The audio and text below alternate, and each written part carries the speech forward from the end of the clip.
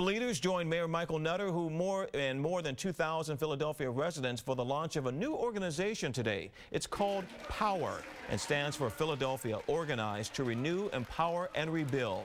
It is a faith-based effort comp uh, comprised of 40 congregations in the city.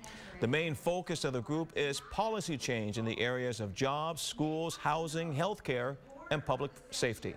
And waste time finger pointing, whether is it parents, is it the schools, is it the police, is it, you know, I, I, don't know. It's always somebody other than taking a look at yourself and what are you doing personally to make things better. And it's going to take a collective effort to really have an impact. Power's first goal is to find jobs for 10,000 Philadelphians over the next several years.